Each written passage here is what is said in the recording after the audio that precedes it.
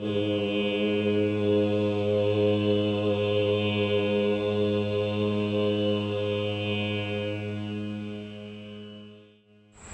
is this concept of being yoga? I asked Rodney Yee and Colleen Saidman Yee, two of the most recognizable yoga teachers in the country. What is being yoga? What is being, period? Um, being is being present. Um, yoga is being present. Um, yoga is when you stop leaning forward or leaning back. Um, and that's being. Ditto.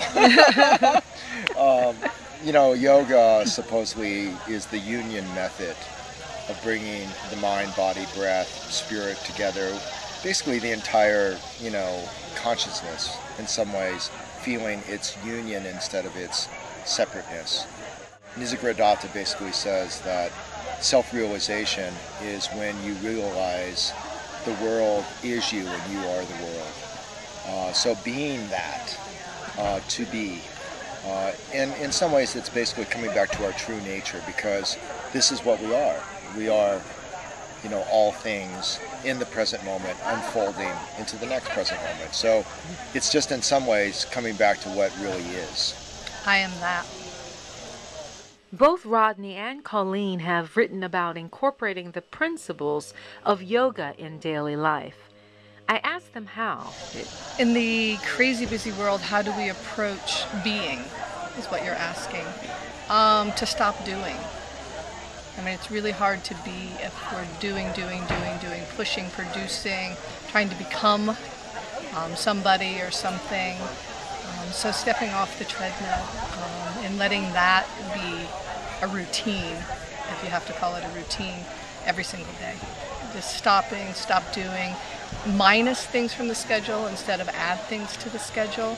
Really easy to say, really hard to do.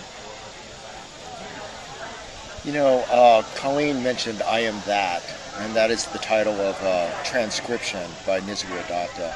And Nisargadatta says, you know, after he became self-realized, he sort of sees his body as running around, like a little smurf running around, um, and it's doing its karmic dance you know and he says that runs around but there's a part of that running around that's actually quiet there's a still point in the tornado.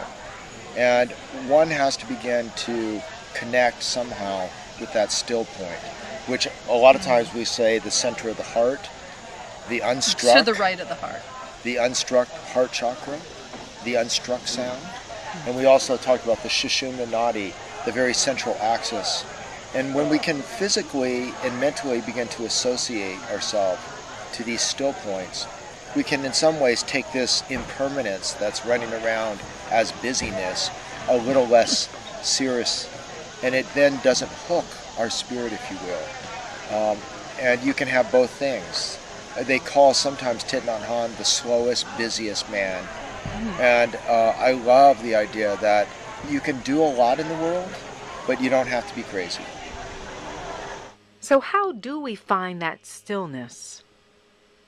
To know that silent point, I think you need to, to sit with it for a while, um, to become intimate with it, to get to know it before you can go out and keep that tether, keep that connection to that place that is witnessing what you're doing and learn that it's all a cosmic joke and to be able to laugh at yourself. And also, what she's saying is we have to practice, you know, staying connected to that center once we find it and once we continue to find it. So it's a it's a moment by moment process. And if you can't do it in the world, then in some ways you have to retreat, as Thich Hanh says, away for a while to create that connection and to create a strong tether, as Colleen put it, to the center. Once you do that, then you start adding things and asking yourself now, under these circumstances, can I still have a foothold in the center? How can you come back to your true nature? How can you stop doing and simply be? Today, take time to find your own stillness. The power is in your hands.